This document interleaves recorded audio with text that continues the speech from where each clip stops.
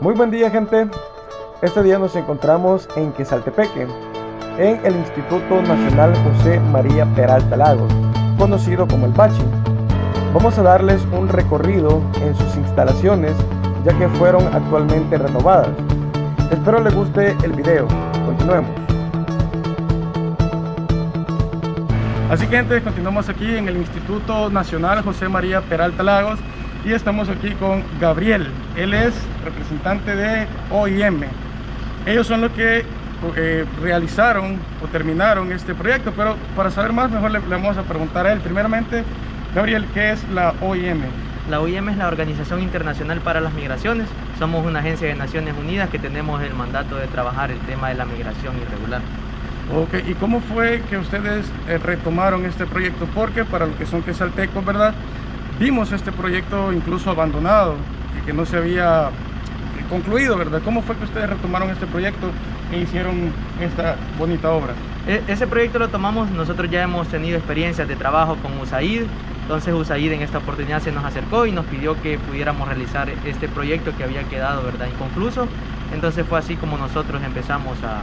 lo retomamos y, y el, el proyecto se desarrolló.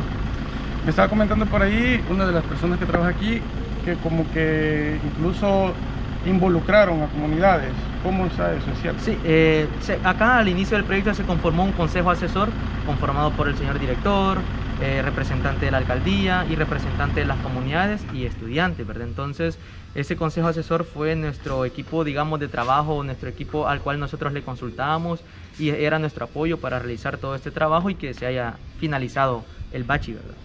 Ok, así es, el bache. Eh, una pregunta, no sé si puedes mencionar cómo fue que se hizo, digamos, si hubo alguna recolección de fondos o ya la OIM es la que se encarga de dar los fondos y se puede saber de eso. Eh, los fondos son fondos de USAID y OIM los ejecutó. Entonces así fue como son donaciones de Estados Unidos con, por medio de USAID y OIM ejecutó el proyecto. Ah, ok, qué bueno. Qué bueno entonces saber toda esa información para que ustedes vean todo el trabajo que se hizo para llegar a tener todo este Instituto Nacional José María Peralta Lago, que a mí me llena mucho de satisfacción verlo así como está ahora de bonito. Y vamos a continuar aquí, vamos a hacer un poco más de tomas para que ustedes puedan ver, algunos eh, recuerden cuando andaban caminando por estos pasillos que ahora están completamente cambiados gracias a la OIM, ¿verdad? Y gracias a Gabriel también que nos brindó esta bonita entrevista, ¿verdad? Así que muchas gracias, Gabriel. Muchas gracias. Te agradecemos, ¿verdad? Gracias. Y continuamos, pues. Vamos a empezar entonces aquí el recorrido por las instalaciones de este nuevo instituto, porque esto ya es nuevo. Sí, así es. Aquí está bastante diferente. Bueno, debimos de haber empezado de la entrada, pero estamos lo que queremos aprovechar aquí a Gabriel, ya que él nos está explicando todos los novedades que tiene este instituto, ¿verdad? Por ejemplo, nos estabas comentando acerca de esto, Gabriel. La, franja podotáctil que sirve para que las personas no videntes puedan accesar desde el inicio del instituto y puedan entrar y, irse ubicando en las aulas y que puedan tener acceso. También este instituto tiene un acceso con las personas con discapacidad motriz desde la entrada hasta la salida. Al final de al salir a la cancha tiene eh, acceso a personas con discapacidad para que puedan ellas entrar y salir al instituto con facilidad. Tiene baños para personas con discapacidad, eh, hombre y mujer. Generalmente se utiliza solamente un baño para los ambos sexos y aquí hay para las dos. Están los baños para niñas, los baños para niños. Y bueno, ustedes... Con respecto a, este, a esta franja, Está comentando que es el primer instituto, la primera... A nivel del Ministerio de Educación que tiene este tipo de accesos de ah, franja okay. Estaba comentando también algo relacionado a los tanques, ¿verdad? Vamos a ir a ver dónde están los tanques. Ahorita esta zona, la verdad que toda esta zona es nueva porque antes de hecho habían unas aulas aquí. Habían unas aulas aquí y aquí había un, un pasillo. Allá que aula que está allá fue donde yo estudié mi segundo segundo general A.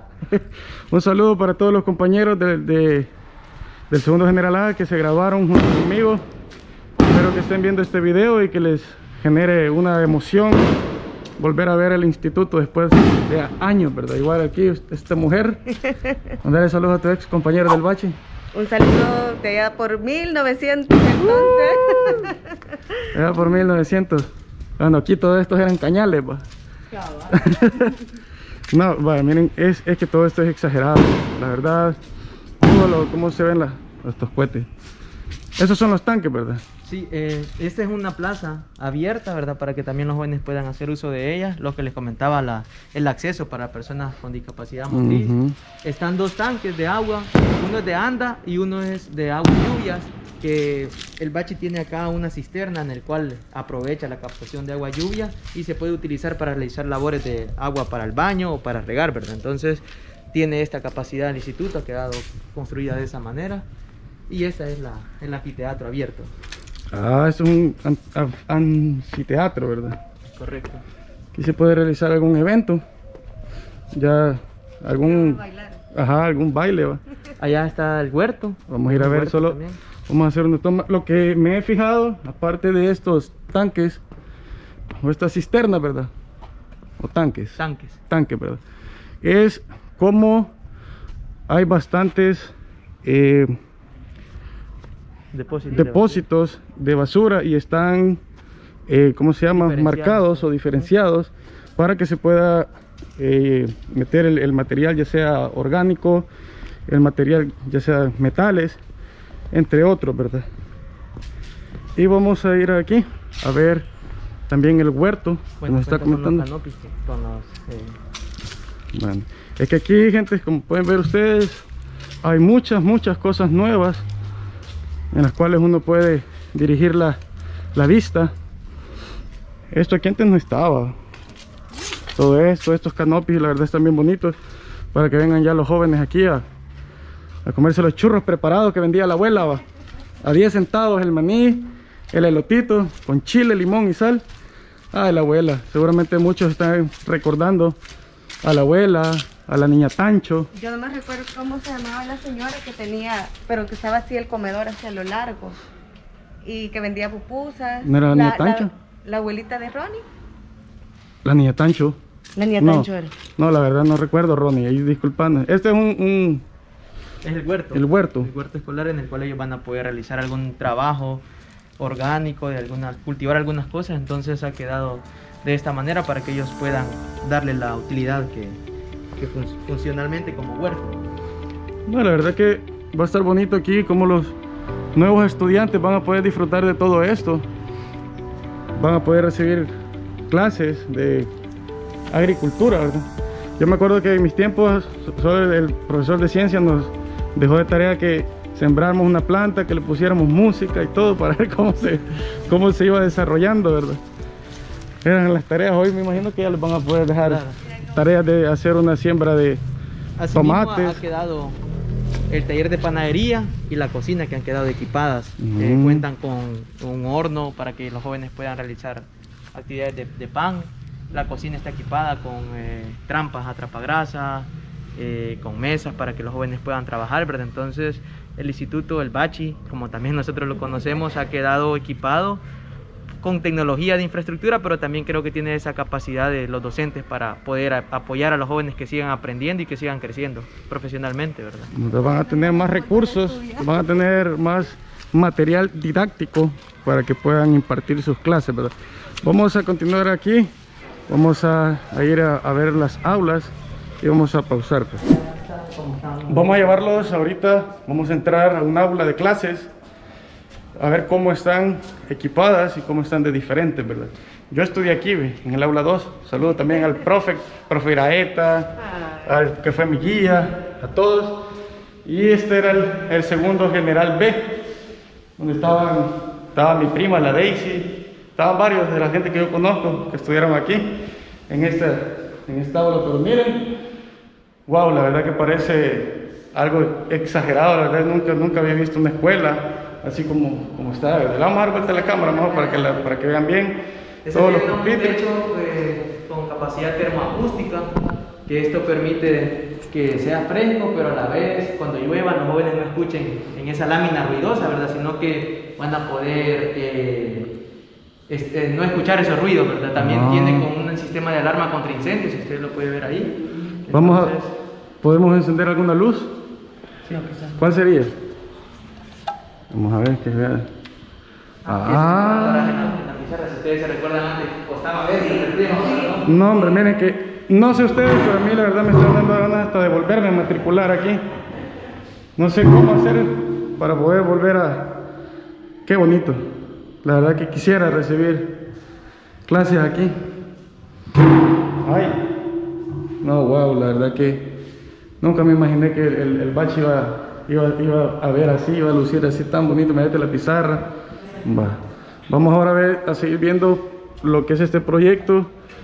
Vamos a llevarlos a que puedan conocer la cocina. Vamos a ver si podemos ingresar también al laboratorio. Y miren aquí, para el recreo, para los 10 o 15 minutos que dan en los recreos. Vamos a poder jugar aquí, amor. Vamos a poder jugar ping pong. Hay, dos mesas de ping pong. Y esperamos que la gente lo cuide, ¿verdad?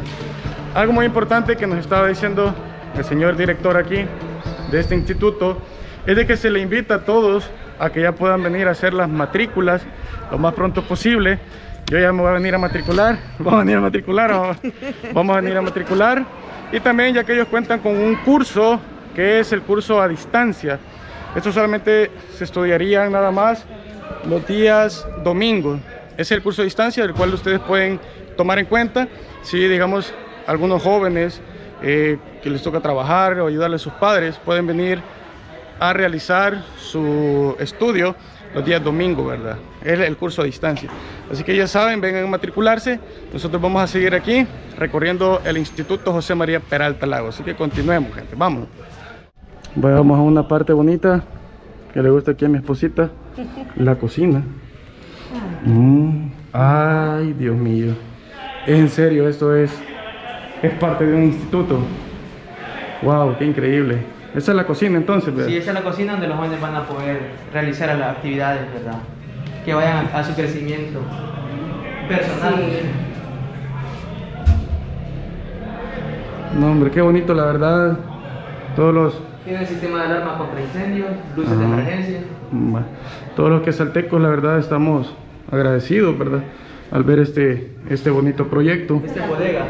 que se ha realizado aquí en Quesaltepeque. Si usted no es salvadoreño, por lo menos está conociendo, ¿verdad?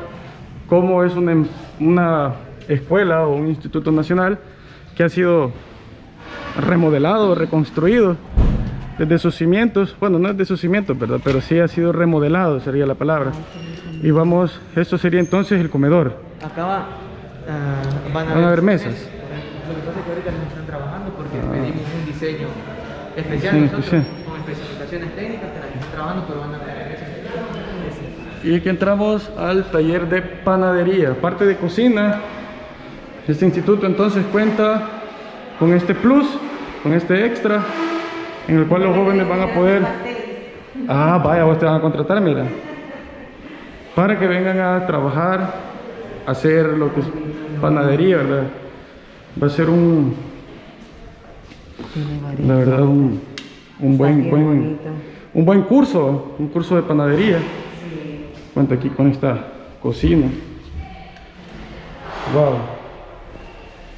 Vamos a ir también aparte de la cocina y de este también sala de panadería, panadería. de esta panadería, pues vamos a ver si podemos ingresar también al laboratorio y al salón de informática, ¿verdad?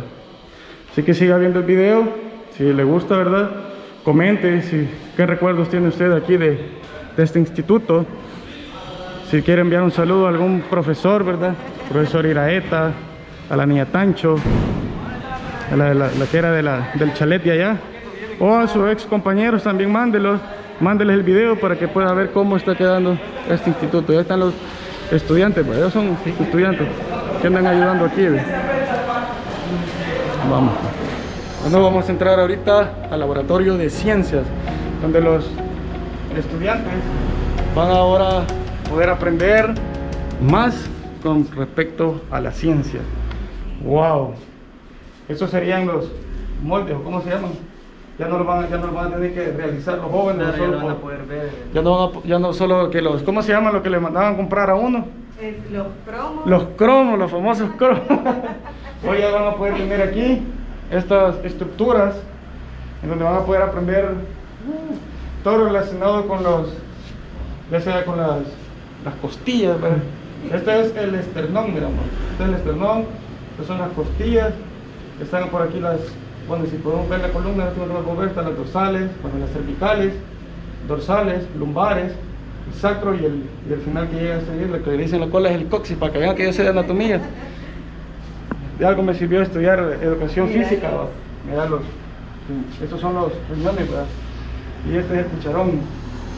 Vamos a, vamos a ver, miren los, cómo están aquí los telescopios, ¿cómo se llaman? Perdón. Microscopios. ¿va? Aquí están.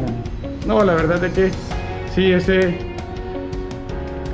es un instituto equipado. más que equipado, un instituto ya de del primer mundo, digámoslo. No, ¿por qué no? La verdad que sí. Tiene material muy bonito, el Porque cual es que tal vez no estaba al los jóvenes van a poder de- disfrutar, ¿verdad? pueden disfrutar de su clase. Esto ni yo sé qué es. Vamos a ir entonces ahora al, al de informática. ¿va? Acá tiene esto por caso de emergencia, que el joven le caiga algo en sus ojos para que Ah. lo pueda lavar y no aquí mismo. se- Ah, va. Vamos, pues continuemos. Y sorpresa, gente, estamos aquí ya en el aula de informática. Cuando yo estaba estudiando aquí sí tenía, bueno, un saludo al profesor de informática, ¿verdad? Pero sí ya había computadoras, pero el, el aula no estaba tan, tan equipada. Ahora incluso hasta aire acondicionado tienen, nos dice aquí Gabriel. Tienen las pizarras y tienen siempre el sistema de alarma, ¿verdad? y tiene la- el, el proyector o, o la, o la pizarra atrás y la- la- la- el proyector, pues incluso veo que tiene una pizarra movible extra. Así que esto es parte de lo que van a disfrutar las nuevas generaciones que se van a venir a inscribir aquí. Vamos a ir a hacer ya unas tomas ya para despedirnos, agradeciéndole aquí también a, a Gabriel que nos ha dado este recorrido y agradeciéndole también a, A USAID a y a USAID y a OM por haber realizado este proyecto, ¿verdad? Vamos a hacer unas tomas ya para despedirnos. Espero que les esté gustando cómo ha quedado este instituto. Y así que ya poco a poco nos vamos, pues. Sigamos, pues, ahí el... Vamos a ver allá. Bueno, lamentablemente ahorita la, la parte del, del, del techo, de la cancha techada, está bastante ocupada porque nos estaba comentando aquí Gabriel que ya las casas que ellos estaban ocupando, los estudiantes, ¿verdad? Habían, estaban en unas casas, de hecho, que se habían conseguido. Ahí estaban recibiendo las clases y ahora están trayendo o acarreando el material ya para su casa, así digámoslo, para el bachi. Y aquí vamos a pedirle aquí a esta muchachona que mande un saludo para todos aquellos estudiantes que han pasado por, por aquí, ¿verdad? Y que ahora ya son padres, ya se casaron. Por ahí déjenme la persona. Ah, un no. saludo a todos, ¿verdad? a todas las Bueno. generaciones. Antes de todo, agradecerle a aquí a estos youtubers que han venido a, a ver nuestro instituto como ha quedado de precioso. Pues ellos estuvieron en su tiempo cuando fue un instituto bonito, ¿verdad? Porque era la antigua, pero ahora pues ya tenemos un instituto muy bonito y yo pues saludo a todas las generaciones que salieron, a las antiguas, antiguas y a los que acaban de salir también, que lastimosamente no se pudieron graduar aquí, ¿verdad? Por la pandemia y todo eso, pero que gocen y que disfruten cómo ha quedado nuestro instituto. Que se van a matricular, y, ¿verdad? y, y si quieren venirse a matricular de nuevo. Ya están, yo, ya, yo quisiera- y ya están empezando la, la matrícula. Las matrículas ya están, sí, ya tenemos bastante, gracias a Dios, este, eh, un pueblo estudiantil bastante grandecito, ¿verdad? Y yo en lo personal me siento alegre y feliz de disfrutar de un instituto nuevo, ¿verdad? Único, porque al momento pues es único en nuestro país, porque tiene todo, todo, todo lo que necesita un estudiante, ¿verdad? Tiene las áreas recreativas que necesitamos mucho y pues esperamos pues que esto sea mejor, ¿verdad? Y que de ellos depende que, que esto se mantenga Que se en cuide, cuido, ¿verdad? Ah, Ajá, así pues. es. Y bueno, los felicito a ustedes también y muchas gracias. Ahí estamos, pues. Dios, pues. Vaya, pues Dios. A rato venimos a matricularnos. Pues, vaya, vaya, igual. Y bueno, mi gente, estamos aquí con un profesor muy querido, el profesor Montenegro, el cual yo tuve el gusto que fuera mi profesor de lenguaje, ¿verdad? Y el cual queremos nada más pedirle que nos regale unas palabras, ¿verdad? Bueno, muchas gracias. Este, quizás antes que nada agradecerles a todos ustedes que de alguna manera van a saber de nosotros a través de este medio, por esa confianza que depositaron en la institución durante estos seis años de diáspora pues, que vivimos, donde de alguna manera pues, este, fortaleció, digámoslo así, este, e, ese voto profesional de todos mis compañeros docentes y administrativos, por cuanto pues, nos permitió realmente eh, enseñar, si ese se le puede llamar así el término, este, bajo condiciones bien austeras.